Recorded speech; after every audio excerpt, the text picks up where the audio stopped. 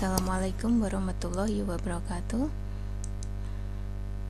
Kita lanjut Belajar mengenai Pelajaran kita Yaitu Dari awal Kita membahas mengenai eksponen Kemudian bentuk akar. Nah kita lanjutkan. Sekarang adalah pembahasan mengenai logaritma. Nah, logaritma diartikan sebagai inverse dari perpangkatan atau eksponen, yaitu mencari pangkat dari suatu bilangan pokok. Yang kita cari pada logaritma itu adalah pangkatnya. Nah, logaritma x dengan bilangan pokok a ditulis dengan a log x adalah pangkat atau eksponen yang dimiliki oleh x. Jika x dituliskan sebagai bilangan berpangkat dengan bilangan pokok a. Jadi A log X sama dengan N Apabila ditulis dalam bentuk eksponen Maka A pangkat N sama dengan X Atau A dikali A log X sama dengan X Dengan catatan Yang pertama A disebut bilangan pokok logaritma A lebih besar dari 0 dan A tidak sama dengan 1. Jika A sama dengan 10, maka 10 log X cukup ditulis dengan log X saja. Jadi bilangan pokoknya 10 tidak usah ditulis. Kemudian yang kedua, X disebut dengan numerus. X lebih besar dari 0. Kemudian yang ketiga, N adalah hasil logaritma. N dapat ditulis positif, negatif, maupun 0. Adapun sifat-sifat logaritma jika A lebih besar dari 0 A tidak sama dengan 0 B tidak eh, lebih besar dari 0 C lebih besar dari 0 di mana A, B, C, M, kemudian N itu merupakan elemen dari bilangan rasional. Maka berlaku sifat-sifat berikut. Sifat yang pertama A log A itu sama dengan 1 Di mana Berapapun bilangan dipangkat dengan satu maka sama dengan bilang itu sendiri. Sama dengan logaritma. Berapapun dari bilangan pokok Berapapun dilogaritmakan maka sama dengan satu.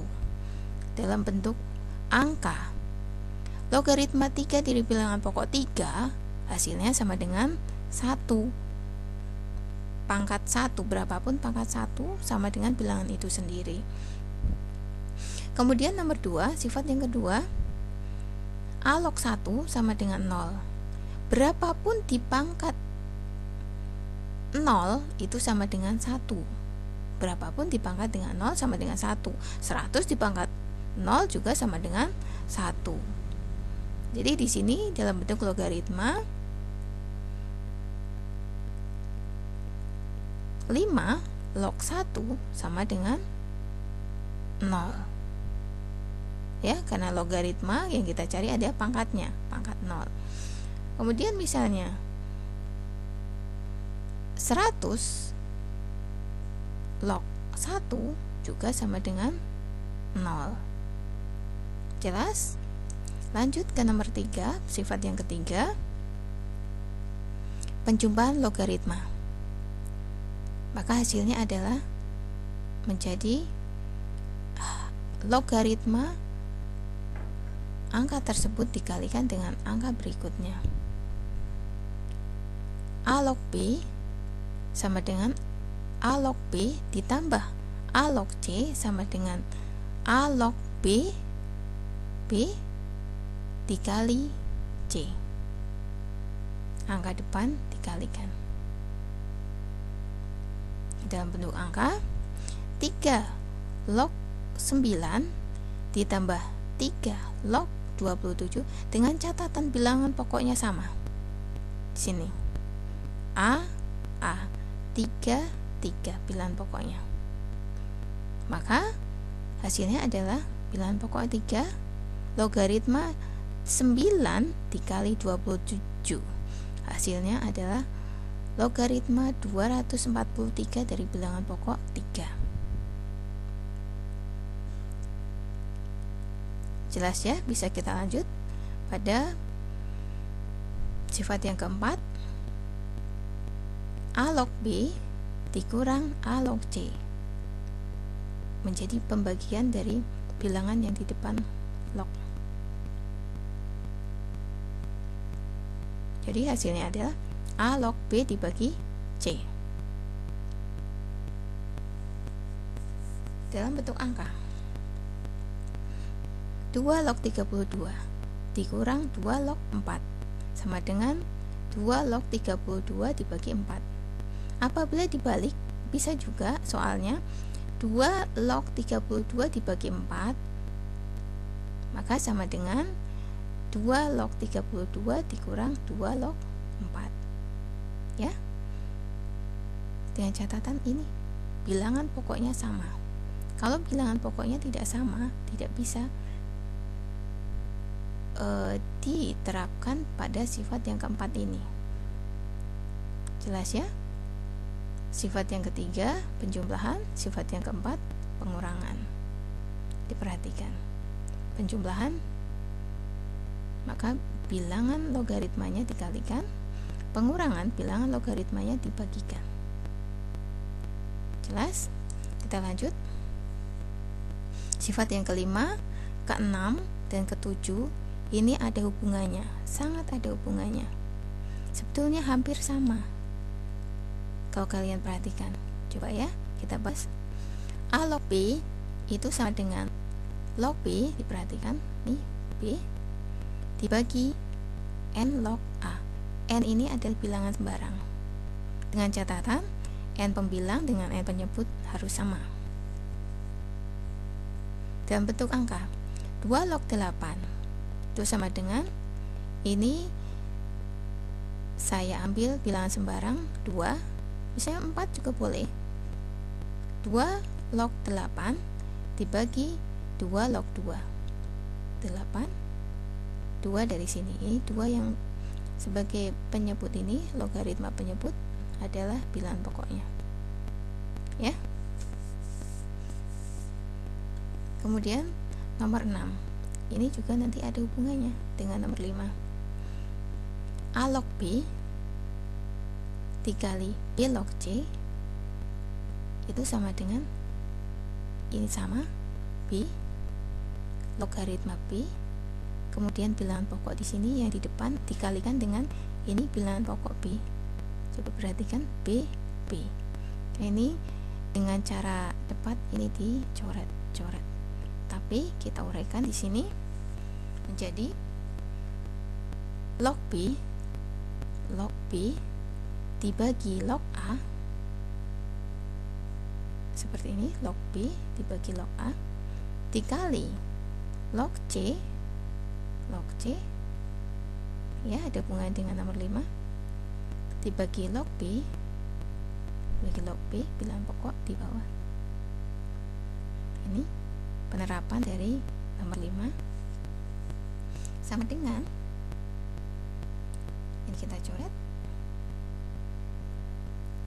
Hasilnya adalah log C dibagi log A. Di mana di sini hasilnya adalah A log B. A log C. A log C. Sama. A log B. Jelas ya dalam bentuk angka. 2 log 5 dikali 5 log 16 kalau dengan cepat kita langsung coret 5 dengan 5 log 5 dengan bilangan pokok 5 kita coret. Apabila kita uraikan maka log 5 log 5 dibagi log 2 dikali log 16 dibagi log 5 sama dengan coret log 5 pembilang log 5 penyebut. Maka hasilnya adalah log 16 dibagi log 2 sama dengan 2 log 16 2 log 16 sama dengan sifat yang kelima. Jelas? Yang utama kalian perhatikan ada ini. Ada 5 log 5 di sini ada bilangan pokok. 5 dikalikan. Maka ini dicoret coret langsung. 2 log 16 ya lanjut. Nomor 7 juga ada hubungannya dengan nomor 5 dan 6 sifat yang kelima dan ke 6 A log B A log B ya itu bisa sama dengan N log B per N log A tapi bisa sama dengan 1 per bilangan pokoknya diganti. Jadi dia eh, awalnya jadi pembilang kemudian menjadi penyebut bisa menjadi penyebut dan bilangan pokoknya ganti ya. Bilangan pokoknya tadinya ini A jadi B. Jadi A log B itu bisa hasilnya N log B per N log A bisa juga hasilnya 1 per B log aplikasi dalam bilangan 5 log 25 itu sama dengan 1 dibagi tadinya bilangan pokoknya 5 kita ganti bilangan pokoknya 25 ini log A. Ya lanjut nomor 8 A dikali A log B ini sama dengan sama dengan ini. Itu sama dengan B 5 dikali 5 log 25 sama dengan 25 jelas yang ini? Lanjut sekarang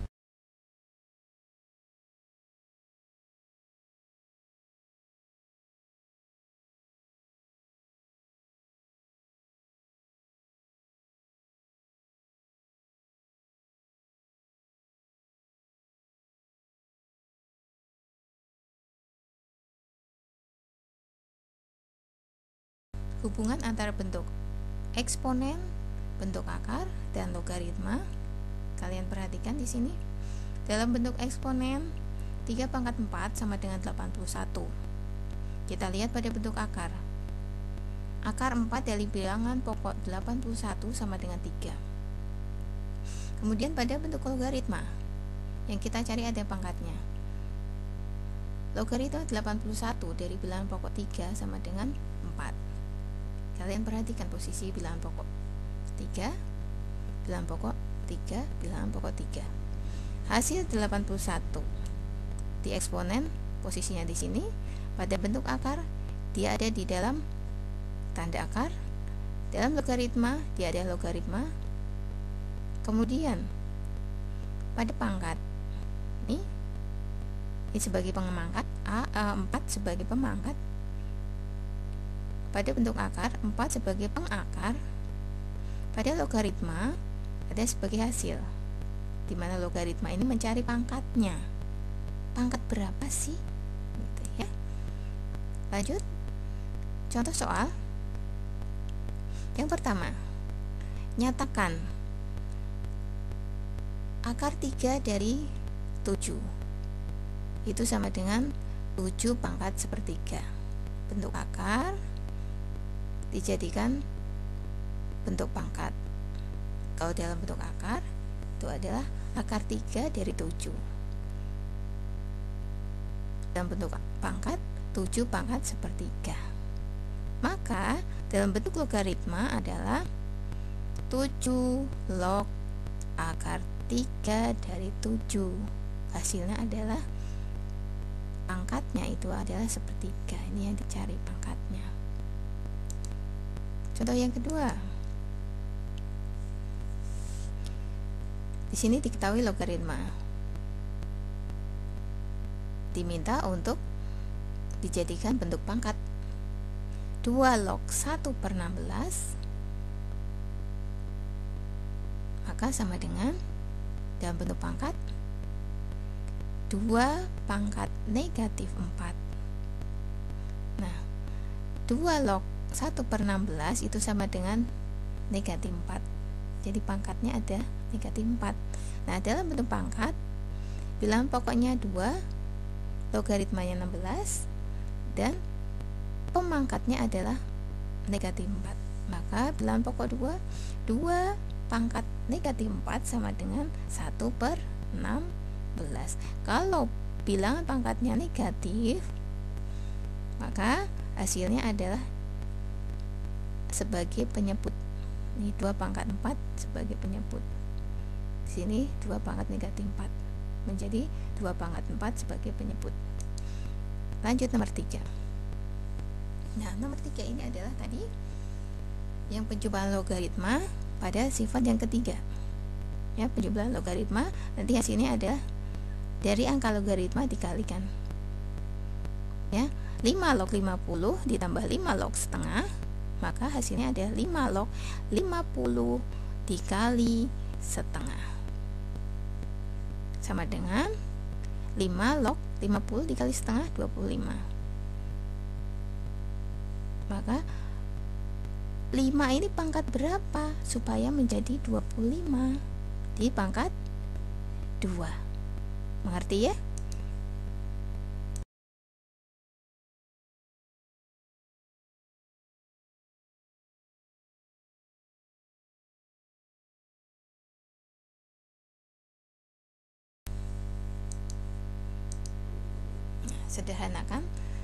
contoh soal yang keempat sederhanakan dari kompleksitas ini. Ini mulai kompleks sebetulnya. Ini ada perpaduan dari sifat yang ketiga kemudian keempat ya. Nah ada dua dikalikan ini. Ini ada pangkatnya dari tiga. 3 pangkat 2 ya ditulis dengan 2 dikali 2 log 3 nah di sini jawabnya adalah 2 log 3 pangkat 2 dikali 5 per ini bilangan pokoknya sama ya. Jadi tinggal kita kalikan. Log 2 dikali 3 dikali 5 sama dengan 2 log. 3 pangkat 2 9 dikali 5 45 per 2 log. 2 kali 3 6 dikali 5 30 nah hasilnya adalah ini hubungannya dengan sifat yang ke-6 jadi A log B per A log C maka hasilnya ada C log B. Ngerti ya? Kita lanjut. Contoh soal yang kelima. Contoh soal 5A di sini diumpamakan pada variabel 5 log 3 itu dijadikan variabel M. 5 log 3 sama dengan M. Maka soal 5A 5 log 9 di sini 9 ada 3 pangkat 2 tadi apabila ada pangkat log pangkat logaritma pangkat maka ini sebagai pengali ya. Jadi pangkatnya ini diletakkan sebagai pengali 2 dikali 5 log 3 sama dengan sementara di sini 5 log 3 itu sama dengan variabel M. Jelas ya 5 log 3 5 log 3 adalah variabel M maka ini 2 5 log 3 diganti M. Jadi 2 kali M. Jelas? Lanjut ke contoh soal 5B 5 log 75 sama dengan 75 itu adalah 25 dikali 3 ini kita balik dari sifat yang ketiga ya log dikalikan maka kita jebarkan jadi 5 log 25 ditambah 5 log 3 5 log 25 ditambah 5 log 3 maka hasilnya ini 5 log 25 ini adalah 5 log 5 kuadrat Sementara 5 log 3 itu sama dengan 5 log 3 itu sama dengan M. Jadi nanti ini 5 log 3 kita ganti M. Nah, hasilnya adalah 2 dikali 5 log 5 di mana A log A itu sama dengan 1 maka di sini 5 log 5 juga sama dengan 1 1 dikali 2 sama dengan 2 jadi hasilnya di sini 2 ditambah 5 log 3 ini 5 log 3 itu sama dengan variabel M. Jadi 2 ditambah. Ini kita ganti menjadi variabel M. Hasilnya ada 2 ditambah M. Ngerti ya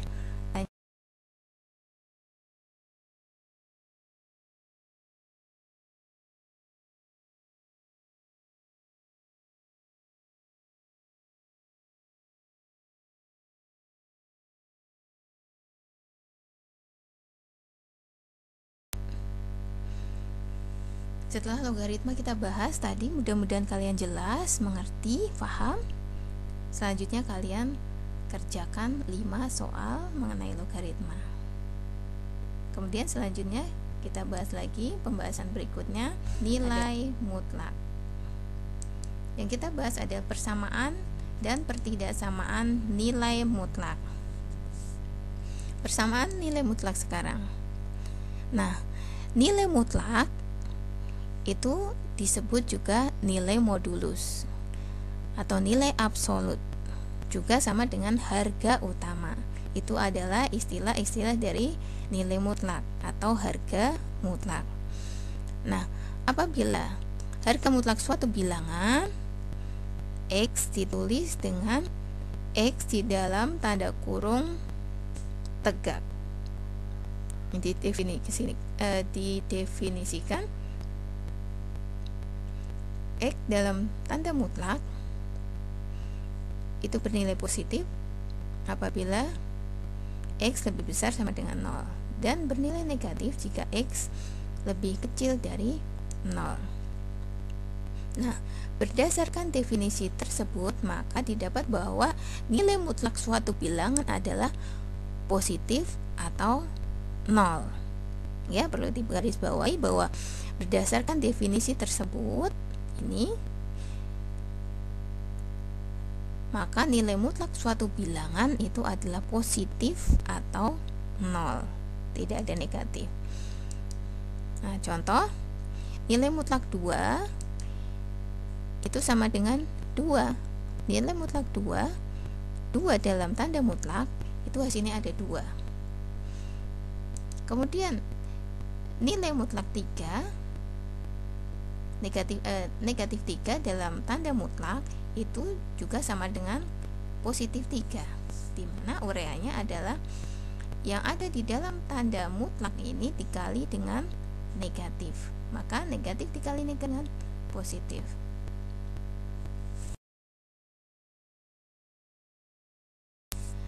Nah kalau tadi adalah angka tunggal sekarang kita bahas eh, persamaan nilai mutlak. Ya persamaan nilai mutlak di mana persamaan nilai mutlak adalah persamaan yang peubahnya ada di dalam tanda mutlak.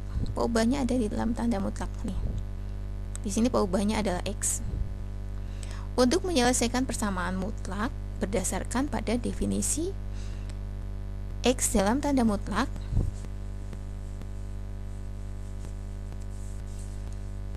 Jadi ada dua hasil yaitu yang pertama X positif jika X lebih besar sama dengan 0 dan X negatif.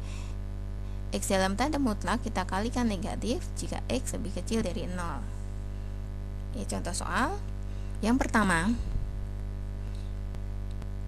dalam tanda mutlak X dikurang 2 sama dengan 4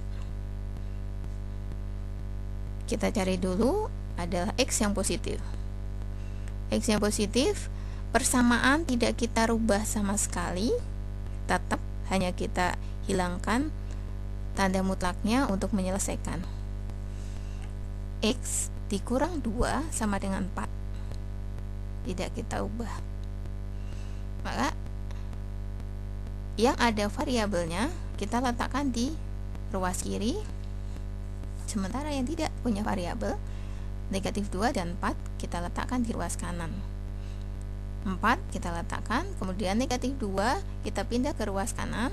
Negatif menjadi positif. Positif 2 maka X sama dengan 4 ditambah 2 hasilnya 6 jawaban yang kedua adalah di mana? X lebih kecil dari 0 maka yang ada di dalam tanda mutlak kita kalikan negatif jadi kita hasilkan persamaan negatif X negatif dikali negatif positif ditambah 2 sama dengan 4 yang tidak di dalam tanda mutlak kita biarkan saja. Kemudian yang ada variabel X kita letakkan di ruas kiri. Yang tidak mempunyai variabel kita letakkan di ruas kanan.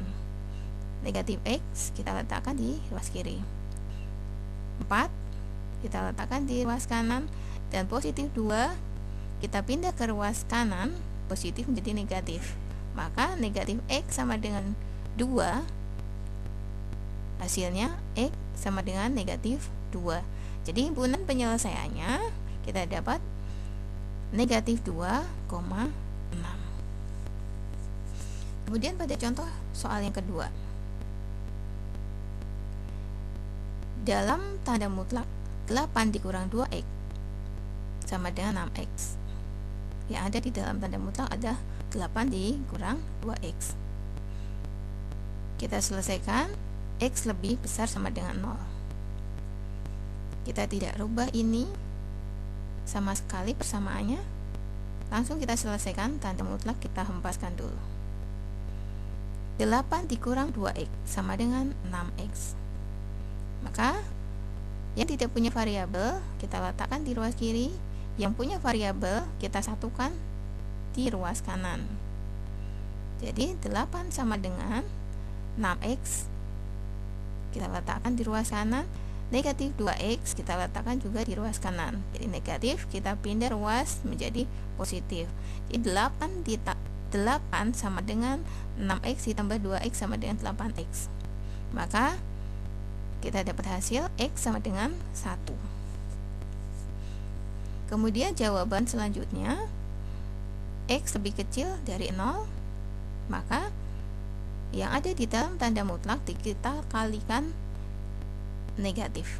Yang ada di dalam tanda mutlak kita kalikan dengan negatif. Jadi kita dapat persamaan negatif 8 Negatif dikali negatif ditambah 2X sama dengan 6X 6x tidak ada di dalam tanda mutlak maka 6x kita biarkan. Tidak dikalikan dengan tanda negatif. Yang mempunyai variabel x kita letakkan di satu ruas yaitu ruas kanan boleh ruas kanan boleh ruas kiri. Tapi ini ibu letakkan di ruas kanan. Sementara yang tidak punya variabel ibu letakkan di ruas kiri boleh bebas ya di ruas kanan maupun di ruas kiri. Ini bisa negatif 8 diletakkan di ruas kanan e, variabel x kita letakkan di ruas kiri. Sama hasilnya. Maka negatif 8 sama dengan 6x dikurang 2x sama dengan 4x jadi x sama dengan negatif 2 maka kita dapat timbunan penyelesaian adalah negatif 2 dan 1 kita lanjut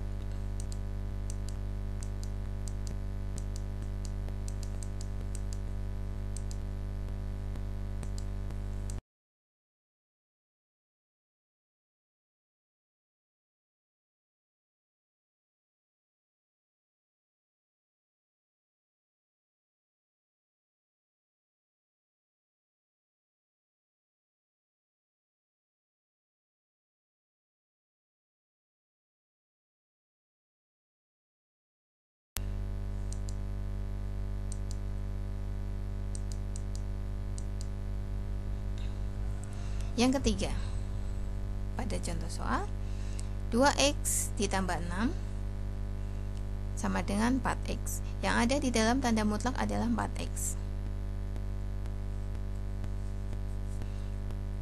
Maka x lebih besar sama dengan 0 x lebih besar sama dengan 0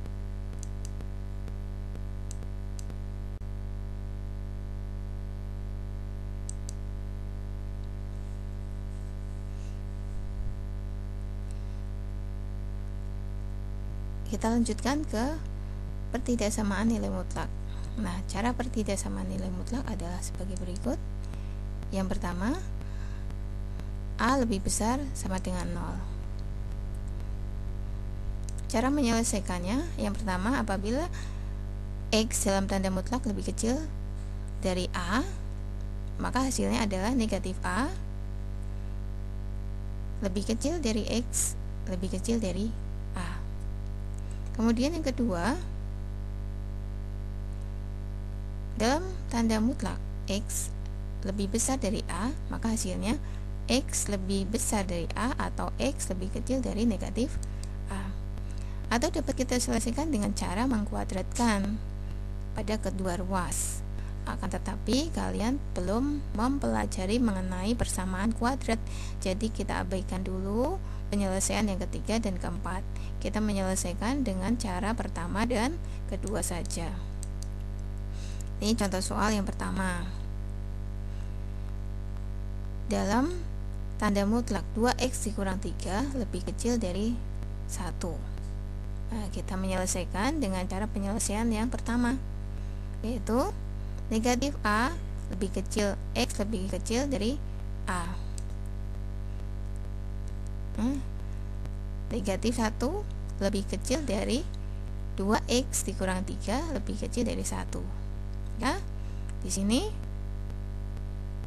negatif 1 negatif 3 pindah ruas sini jadi 3 negatif 1 ditambah 3 sama dengan 2 negatif 3 pindah ruas ke 1 jadi 1 ditambah 3 sama dengan 4 maka didapat hasil 1 lebih kecil dari X lebih kecil dari 2 jelas? jadi himpunan penyelesaian dari persamaan eh, dari pertidaksamaan nilai mutlaknya adalah X mana 1 lebih kecil dari X X lebih kecil dari 2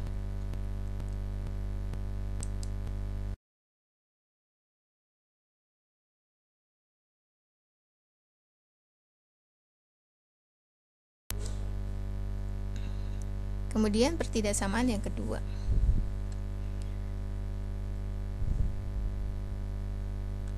Dalam tanda mutlak 2 dikurang 3x lebih besar sama dengan 1 kita selesaikan. Sebetulnya ini adalah yang ada di dalam tanda uh, ini kita pindah tandanya maka di sini satu jadi negatif satu. Kita pindah menjadi lebih kecil sama dengan satu.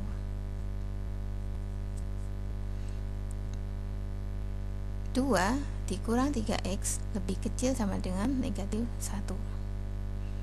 Maka negatif 3x lebih kecil sama dengan negatif 1 negatif 1 ini dua pindah ruas ya, yang tidak punya variabel kita jadikan satu yaitu di ruas kanan. Seperti tadi bisa dibolak-balik di ruas kanan maupun di ruas kiri. Jadi negatif 3x lebih kecil sama dengan negatif 3 negatif 1 dikurang negatif 2 sama dengan negatif 3 maka x kita pindah lagi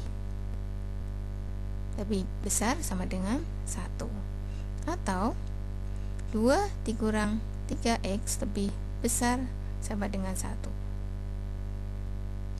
dan di tanda di dalam tanda mutlak kita kalikan dengan ini. Ini lebih besar dari 0 jadi negatif ini persamaannya tidak kita rubah. Persamaan tidak kita rubah. Jadi yang kita bahas adalah X yang pertama tadi adalah X lebih kecil dari 0 kemudian yang kedua baru X lebih besar sama dengan 0 jadi yang ini kita tidak rubah yang kita rubah adalah ini. Ini sebetulnya eh, yang dikalikan negatif itu adalah yang ada di dalam tanda mutlak. Hanya kita alihkan ke sini. Maka tandanya kita rubah dari lebih besar menjadi lebih kecil jelas ya. Lanjut sekarang X lebih besar sama dengan 0 maka persamaannya pertidaksamaannya kita tidak rubah. Jadi yang tidak punya variabel kita jadikan satu ruas. Kita letakkan di satu ruas. Negatif 3 X lebih besar sama dengan 1 2 positif pindah ruas jadi negatif. Jadi 1 dikurang 2 jadi negatif 3x lebih besar sama dengan negatif 1 maka x lebih kecil sama dengan sepertiga. Jadi himpunan penyelesaian dari pertidaksamaan soal nomor 2 didapat adalah x di mana x lebih kecil sama dengan 3 atau x lebih besar sama dengan 1 Persamaan pertidaksamaan nilai mutlak sudah selesai kita bahas, kalian sudah mengerti, jelas dan paham. Maka sekarang lanjutkan mengerjakan soal 4 soal berikut. Selamat mencoba, selamat mengerjakan. Wassalamualaikum warahmatullahi